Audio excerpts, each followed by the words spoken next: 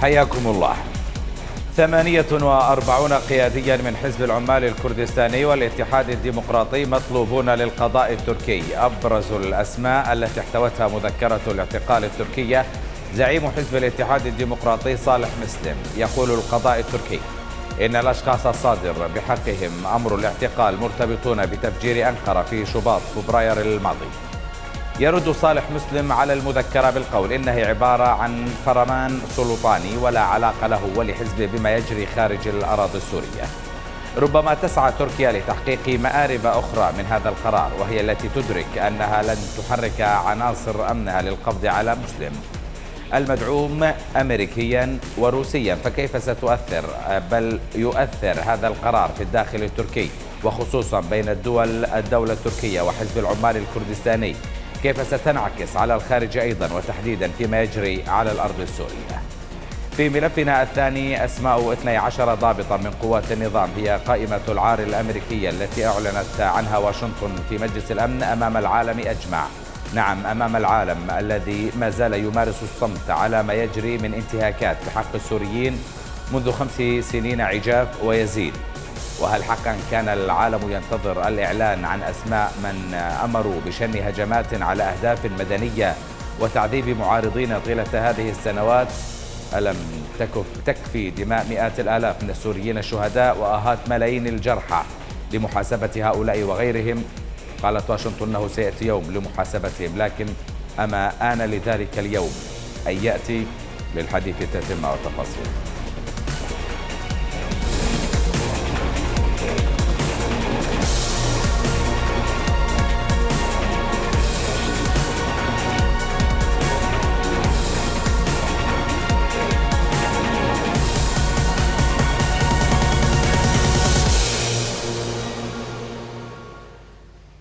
أهلا بكم. مصدر القضاء التركي مذكرة اعتقال بحق زعيم حزب الاتحاد الديمقراطي صالح مسلم إلى جانب 47 من قيادات حزبه وحزب العمال الكردستاني وذلك لارتباطهم بتفجير أنقرة في شباط فبراير الماضي بحسب القضاء التركي. وفي معرض رده على المذكرة وصف مسلم قرار الاعتقال الصادر بحقه بالفرمان السلطاني نافيا أن تكون له ولحزبه أي علاقة خارج سوريا. نتابع بالتفاصيل.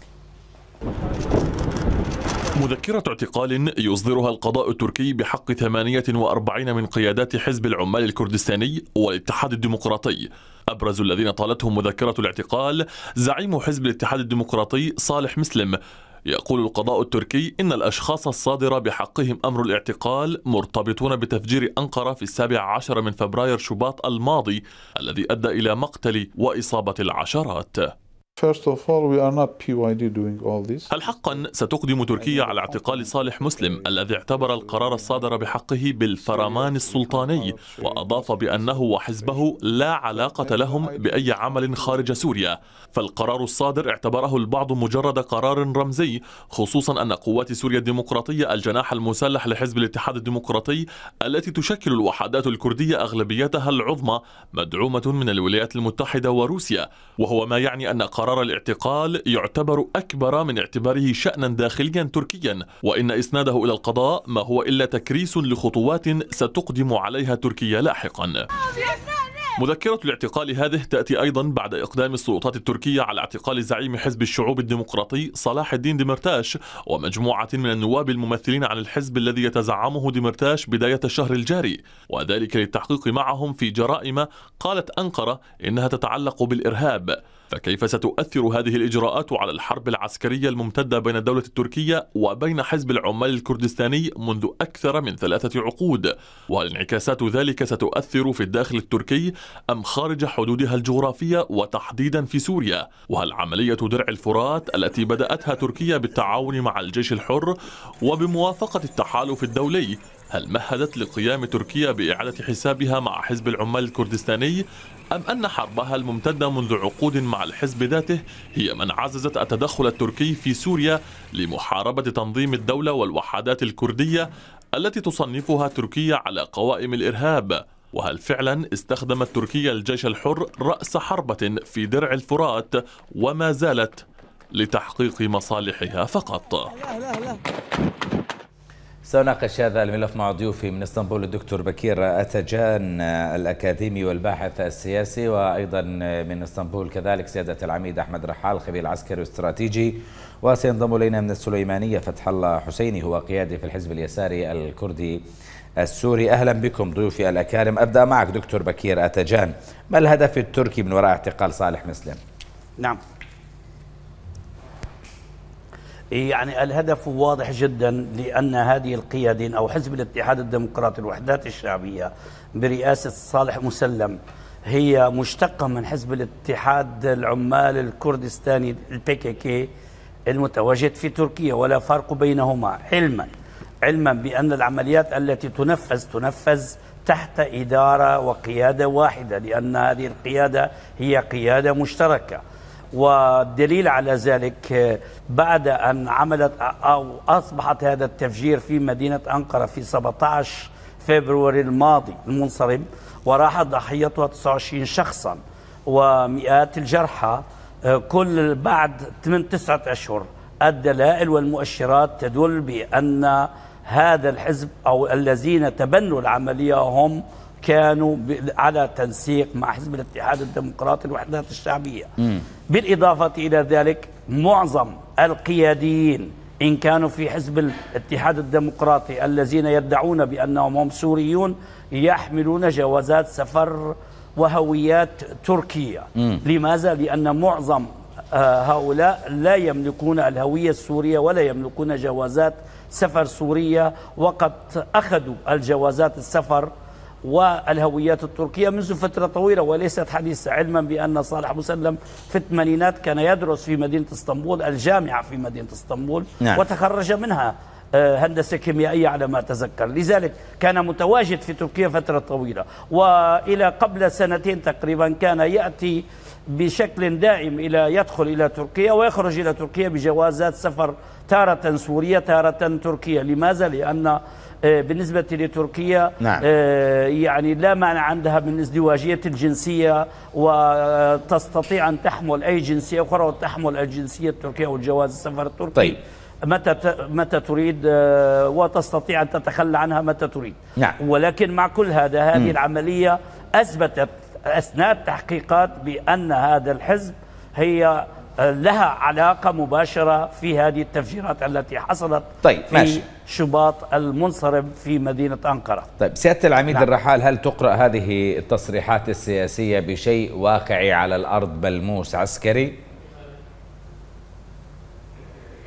يعني هي تصريحات سياسية لكن بأدوات عسكرية كيف؟ يعني واضح أن آه، تركيا بعيدا عن تصنيفها لحزب الاتحاد الديمقراطي بعيدا عن مبررات التي وضعتها لإصدار تلك المذكرة أنا أعتقد أن تركيا كما هي روسيا تشعر من أنها أمام إدارة ترامب المجهولة الهوية حتى الآن مجهولة الأهداف مجهولة التحالفات وبالتالي كما تفعل روسيا في حلب تحاول تركيا من إيجاد واقع جديد مع الأكراد هي تحاول أن تقول للولايات المتحدة الأمريكية وهي رسالة بالمناسبة نعم. للولايات المتحدة الأمريكية أكثر مما هي رسالة إلى صالح مسلم من أنه لا حلول وسط مع الأكراد ومن أن الأكراد لن يكون لهم وطن قوم في شمال سوريا ولن تكون لهم دولة وبالتالي نحن نضع آخر الخيارات التي ممكن أن يفكر فيها الأمريكان من أنه لا حلول وسط مع الأكراد هم إرهابيون. وبالتالي أردوغان كما قال اليوم سننشئ المنطقة الآمنة شاء من شاء وأبى من أبى. وبالتالي هي رسالة لأمريكا من أن الواقع العسكري في شمال سوريا هو مجال حيوي لتركيا ولن تتخلى عنه. نعم يعني بالمقابل الحديث هو يأتي بأنه نستطيع الحديث بأنه السماح لتركيا أن تذهب إلى الباب ومنبج من غير وجود أوراق كردية خصوصا بأن هناك قوات كردية الآن. سوريا الديمقراطية تتواجد في هذه المناطق. يعني هل هو تبرير دولي قبل أن يقوم بذلك أردوغان؟ بالتأكيد هناك موافقة دولية أصبحت على الموضوع. إنما الولايات المتحدة الأمريكية تحاول المراوغة قدر الإمكان بسحب صالح مسلم من منبج.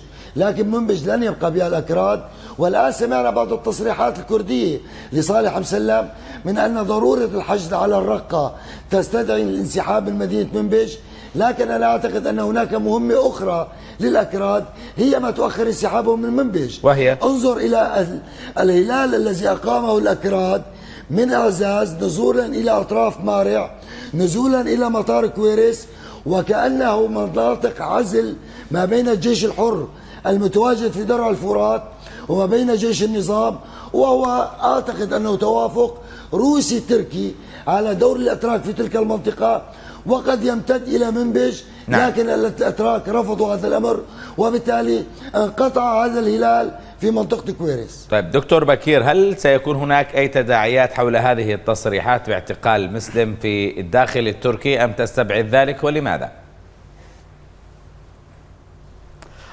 طبيعي لا, لا يكون لأن نحن في تركيا تعودنا على هذه يعني ليست فقط قيادة البي دي والبي كي كي هم آه، منذ فترة طويلة والآن في نفس إن كانت في القامشلي أو في كوباني توجد معسكرات تابعة لمنظمات إرهابية هربت من تركيا وبدعم من حزب البي دي والبي كي كي وباتحاد معهم هناك لضرب الداخل التركي نعم. التهديدات آه، مستمرة لذلك تركيا في الأيام القادمة سوف نجد بأنها سوف تتدخل لابد منها بعد أن تنتهي من غرب الفرات إلى شرق الفرات وخاصة آه، تل الأبيض وقوباني وأيضا القامشلي لأن هذه المستعمرات أو هذه المعسكرات مستهدفة من طرف القوات التركية وسوف تستهدف لأن كما أشار سيادة العميد قبل قليل هذه كلها تهديدات للأمن والاستقرار والأمن الوطني والقومي لتركيا ولن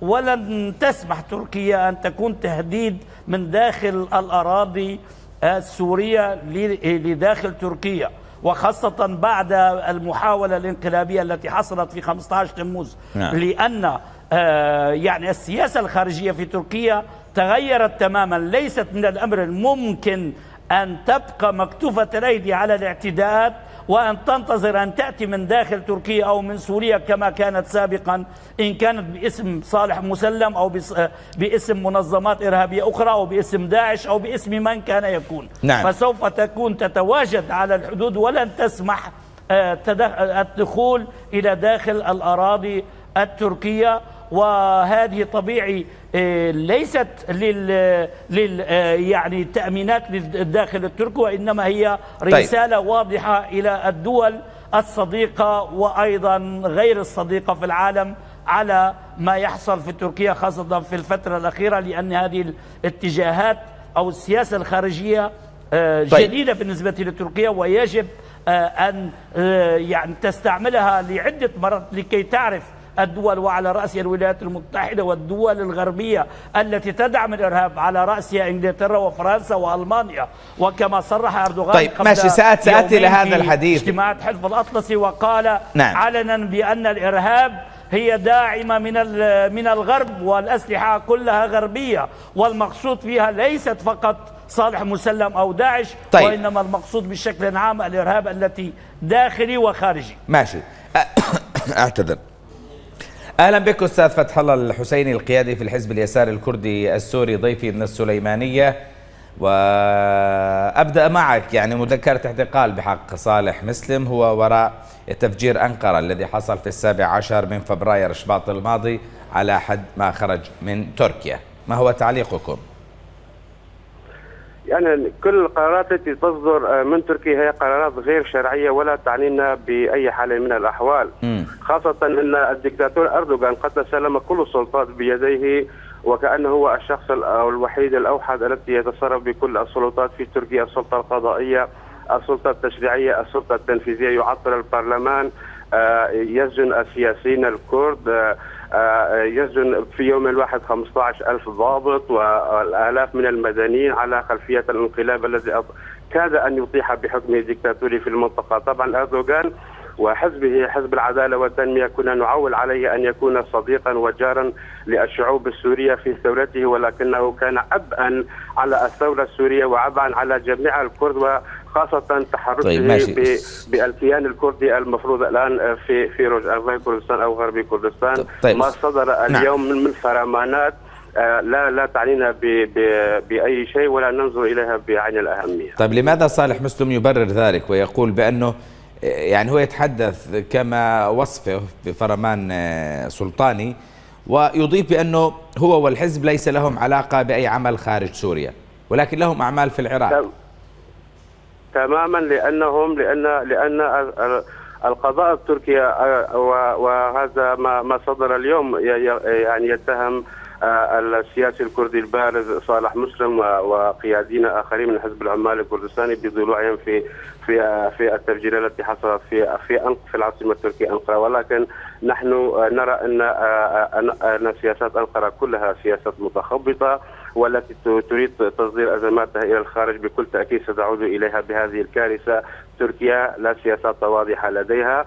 عندما ينفي صالح مسلم اتهامات اتهامات التي وجهت إليه فهو يؤكد بأن ذلك ليس ليس امرا قضائيا بقدر ما هو فرمان من السلطان يريد استعادة الأرث العثماني ويريد محميات كردية ومحميات عربية إلى جانبه ومحميات التركية ولا يريد ولا يريد آه، دول جارة ولا يريد صداقات بل يريد عداوات ويعز من بس هناك صداقة بين أردوغان وأربيل. هناك علاقه هناك علاقات سياسية طيبة بين تركيا وأربيل.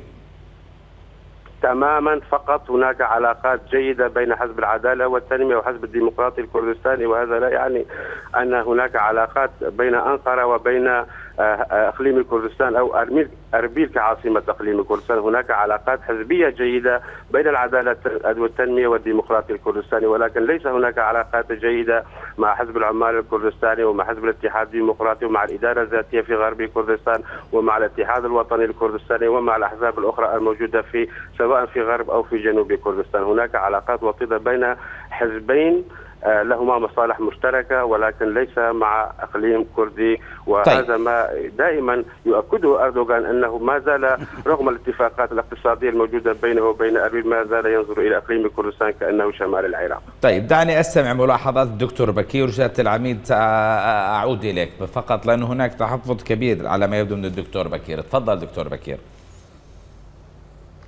إيه، يعني ضيفك الكريم من من العراق آه، عندما يقول بأن علاقته فقط مع حزب الديمقراطي يعني يقصد فيه برزاني. فاذا آه، لماذا ليس له علاقة مع آه، الأحزاب الأخرى؟ هل هم يعملون لصالح إيران أو لصالح آه، أي دولة. أو هل برزاني هو ليس كرديا ولا يعمل لصالح الأكراد بنفس الوقت الأحزاب المتواجدة في شمال سوريا والتي أعددها أكثر من 30 حزب كل لها علاقات جيدة جدا مع تركيا بما فيهم صالح مسلم الذي جاء عدة مرات إلى تركيا وتحاور مع النظام التركي حول أن يكون تحت مظلة التحالف آه، الائتلاف آه، آه، يعني المعارضة السورية وتحت تحالف الجيش الحر. ولكن الضغوط الأمريكية والإنجليزية والفرنسية أدت عدم قبوله هذه. ولكن مع كل هذا يجب أن يعرف هذا القرار التي خرج خرج من وزير العدل التركي وهو ينتمي إلى أصول كردية رئيس المخابرات من أصول كردية فيضان حقا فيضان رئيس الوزراء من أصول كردية يلدرم بن علي وزير الخارجية مولود شوشغل من أصول كردية وزير دولة للشؤون الأوروبية عمر شريك من أصول كردية. لذلك هذه القرارات التي أعطيت ضد كما يدعى ضد الأكراد. إذا هؤلاء لا يمثلون الأكراد وليس لهم أي علاقة مع الأكراد. إذا يمثلون أجندات ودول أخرى لضرب وقتل الأكراد علما بأن هؤلاء المنظمات الكردية قتلت خلال سنة فقط 6000 كردي مواطن كردي في تركيا فقط. ودمرت 13 سدا نعم. وضربت المشافي والمدارس وقتلت المئات المدرسين وأيضا آه، الذين يعملون في مجال الصحة من دكاترة وممرضين وممرضات في شمال في شرقي تركيا الذين كانوا يريدون أن يخدموا الشعب الكردي بما يتاح لهم ولكن كل هذا آه، يتضارب مع هذه المصالح لأن هؤلاء المنظمات إن كانت حزب البي دي نعم. أو البي كي كي أو المنظمات الأخرى التي تعمل لصالح إيران أو تعمل لصالح نظام الأسد في قتل وتهجير الشعب بجميع مكوناته بما فيهم أخو صالح مسلم مصطفى مسلم نعم. له تصريح واضح بأنه لن يقبل أن يكون أخوه أخاه آه، صالح مسلم الذي يقتل ويشرد بالشعب الكردي في شمال سوريا للأسف الشديد. طيب سيادة العميد الرحال تحدثت في إجابتك عن السؤال وتحدثت بأنه هناك توافقات تركية أمريكية ولن يكون هناك أي دور لقوات سوريا الديمقراطية في الباب، لكن هناك من يرى عكس ذلك، الدليل على ذلك. هناك أوراق تحرك في المنطقة، هناك وجود لقوات سوريا الديمقراطية على محيط الباب. يعني بس بالبداية أحب أن أعلق كلمتين على ما تفضلهم ضيفك من أربيل. تفضل. يعني أنا لست مواطنا تركيا لأدافع عن أردوغان. هذا الموضوع لا يهمني. لكن أنا أتوقف عند كلمة الدكتاتور أردوغان وبالتالي هم لا يتعاملون مع دكتاتوريات يعني أنا أسأل ضيفك من آه، أربيل آه، صالح مسلم ألا يعتبر بشار الأسد دكتاتور؟ ألا يعتبره مجرم؟ لماذا يتحالف معه في القامشلي؟ لماذا يتحالف معه في الحسكة لماذا يتحالف معه؟ لماذا آه، أحد قيادي الأكراد حده؟ قال منذ أسبوع من أنه لا مانع من تحرير الرقة كما هي معركة الموصل بحيث كما اشتركت البشمركة. مع الجيش العراقي. نشترك نحن مع الجيش السوري في تحرير مدينة الرقة. إذا عليكم أن تكون لديكم الأولويات والمبادئ واحدة. طالما أن بشار الأسد دكتاتور فيجب ألا تتعامل معه أسوة بما تصفون به أردوغان. هذه نقطة. أما عن الدور الكردي والولايات المتحدة الأمريكية فأعتقد أن الأمر أصبح واضح. حتى صالح مسلم يدرك تلك الحقيقة من أن كل قضية صالح مسلم هي ورقة ضغط تستخدم فقط لا غير وليست قضية موجودة على طاولة المفاوضات. تستخدمها روسيا عند الحاجة للضغط على المعارضة السورية وعلى تركيا. تستخدمها الولايات المتحدة الأمريكية عند الحاجة للضغط على تركيا أيضا. لكن عند الحقيقة مصالح الدول هي ثابتة. صالح مسلم قال منذ ثلاثة أسابيع لقد تخلى عنا الجميع بما فيهم الولايات المتحدة الأمريكية. لذلك وجودهم في الباب حاليا هو وجود مرحلي ريثما تستطيع. الولايات المتحدة الأمريكية بناء توافقات مع تركيا ومن ثم سوف يتم التخلي عنهم كما تخلوا عن جمال معروف وكما تخلوا عن حركة حزم. طيب إيه، إيه، إيه، أستاذ فتح الله أذهب إليك الآن مباشرة وأرجو أن تجيبني على هذه النقطة. أدرك بأنك ستقوم بالرد على ما تفضل به ضيفاي. لكن أريد أن أطرح معك هذه النقطة. هناك من يقول بأن الورقة الكردية دائما ما تستخدم أو الجهود الكردية تستخدم كورقة للضغط لا أكثر ولا أقل. الولايات المتحدة الأمريكية لن تعطي الكرد أكثر مما أعطوهم إياه في العراق في أربيل فقط. هذا هو الحق الكردي بالنسبة للولايات المتحدة الأمريكية. طبعا هناك من يقول هذا الحديث لست أنا. كيف ترد على من يتحدث بهذا الحديث؟ وأكبر دليل على ذلك قوات التحالف عندما قالت بأن قوات سوريا الديمقراطية ستنسحب من منبج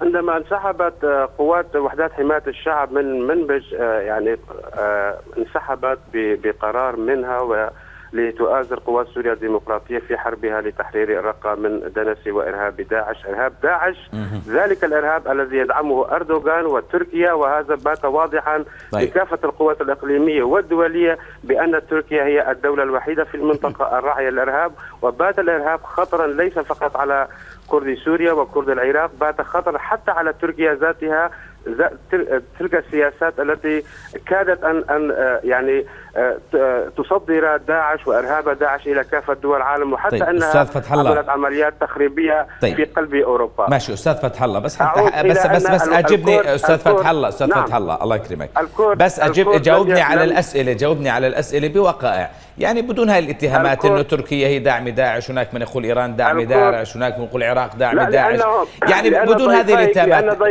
ماشي تحدث بنقاط تثبت وجهة نظرك أفضل من هذه الاتهامات تفضل نعم نعم نعم. الكرد الكرد ليسوا ورقة بيد أحد. الكرد الآن موجودون على أرض الواقع بشكل عسكري وبشكل سياسي وبشكل دبلوماسي. وقد آه، آه، يعني طرحوا مشاريع سياسية ليست فقط تخدم كرد غربي كردستان أو كردي روجافا بل تخدم كردي آه، جميع المكونات المقيمة في روجافا والتي تعيش في روجافا وشمال سوريا. ولولا القوة العسكرية الكردية لكان الآن الإرهاب في كافة المناطق السورية ولتضرر منها كامل السوريين. ويجب على السوريين أن يعترفوا بهذا الشيء في أن الكرد يعني حموا أيوة. جزءا من جغرافيا سوريا. وهذه الروجافا أو غرب كردستان هي ما زالت جزءا من الجغرافيا السورية قتلوا كل سوريا مع النظام نعم أكمل أكمل. دكتور بكير سآتي إليك. تفضل أستاذ فتح الله. هؤلاء طيب. الذين يتهموننا بن بن من آه، مع أننا مع النظام نحن الذين قاتلنا النظام وهم كانوا آه، قاعدين في في مقترباتهم وهم كانوا إلى الأمس القريب ماشي. كانوا في حضن النظام. طيب لكن أستاذ فتح الله أستاذ فتح الله صحيح ماشي. ماشي لكن أستاذ فتح الله بالمقابل بالمقابل القيادي. ماشي ماشي لكن هناك قيادي في حزب الاتحاد الديمقراطي. يتحدث يعني بأنه على استعداد للتعاون مع بشار الأسد في محاربة داعش. نحن نحارب الإرهاب على جبهات في مناطقنا. نحن نحارب الإرهاب في منطقة الرقه لأن الرقة قريبة على كانت على كانتوني كوباني. حاربنا جبهة النصره الإرهابية لانها أرادت الدخول إلى منطقة ثري كعني واحتلال أي الخط الحدودي التي تشكل الجزيرة السورية. يعني بالمقابل أنتم ماشي صحيح. يعني يعني بشكرك لهذه الصراحة. يعني أنتم تقاتلوا مش عشان سوريا بتقاتلوا عشان رجابة صح؟ نحن ندافع عن أنفسنا، نحن أيوة نحمي جغرافيتنا نحمي مكونات المتعايشة معنا، نحمي قوميتنا، نحن مسألتنا في سوريا ليست طائفية ولا مذهبية. نحن مسألتنا مسألة قومية يجب أن يعترف بها جميع المكونات السورية وجميع الذين يدعون أنهم يعارضون بشار الأسد وعلى بشار الأسد وكل الذين غدا سيتسلمون. السلطة يجب أن يعترفوا أن هناك شعب اسمه الشعب الكردي وقد عانى من سياسات النظام البعثي الدكتاتوري وإلى الآن والذين الشعب الوحيدين الذين قارعوا النظام في مناطقهم كانوا طيب. القوات الكردية المتمثلة بقوات قوات وحدات حمايه الشعب الكردي يعني. يعني أستاذ فتح الله أنت تركت كل هالناس اللي بتقاتل في سوريا وما حدا بيقاتل في سوريا قوات الحزب الاتحاد الديمقراطي. وبالمقابل بتتحدث إنه إحنا بندافع عن أنفسنا. ومرة بتتحدث لي إنه إحنا منعنا الإرهاب دخوله إلى سوريا كاملة. وبتتهمهم إنهم هم في حضن النظام لم يأتوا إليه إلا من وقت قريب. ومقاتلين حزب الاتحاد الديمقراطي. فقط أكمل أكمل أكمل. أكمل أكمل لك الجواب بس فقط أكمل أكمل. ماشي ماشي. خليني أكمل. بس خليني أكمل والك إلى لك الحال ماشي ماشي. وبالمقابل وقت قريب بيطلع لنا أحد المتحدثين حزب الاتحاد الديمقراطي ويقول بأنه على استعداد التعاون مع بشار الأسد لمقاتله داعش بالرقه، لم نسمع عن أي اشتباكات بين حزب الاتحاد الديمقراطي وقوات بشار الأسد. على اي ماذا تحدث؟ تحدثني مرة دكتاتوري، مرة بتحموا سوريا، أعطيني نقاط واضحة اللي بتقوموا فيها، أنت رجل صريح، أكثر الشخصيات الكردية اللي, اللي تحدثت على الهواء بشكل صريح، تتحدث عن وجود دولة كردية في سوريا، هذا ما تريده.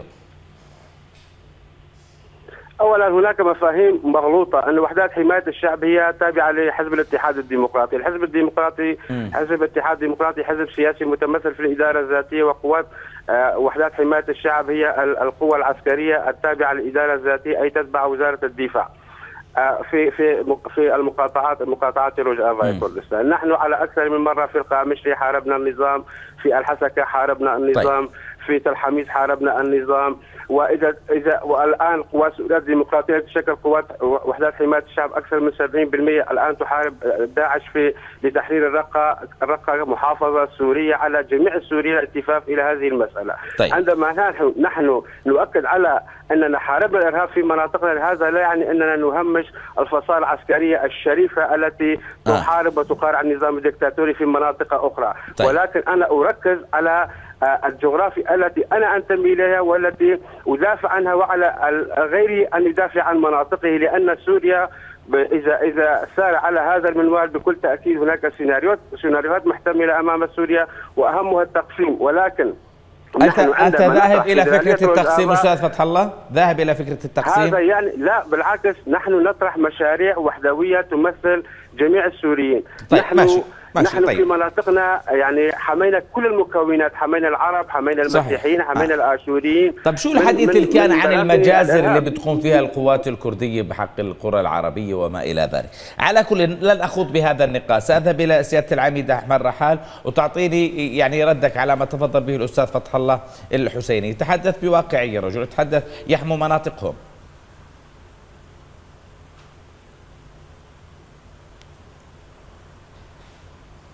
بسمعني سيادة العميد؟ سيادة العميد الرحال ما بيسمعني. طيب إيه، إيه، إيه، أستاذ دكتور بكير آه، أتجان هل بعد نعم. هذه مذكرة الاعتقال تفضل. هل نتوقع أن يكون هناك اجتياح تركي لهذه المناطق أم لا؟ عسكري. إيه طبيعي بالطبع. يعني هم مطلوبين للعدالة التركية كما صرح آه، المسؤولين في تركيا. لذلك سوف لابد أن تتدخل إلى الداخل وتحمي الشعب لأن ضيفك من أربيل كما يدعي بأنهم.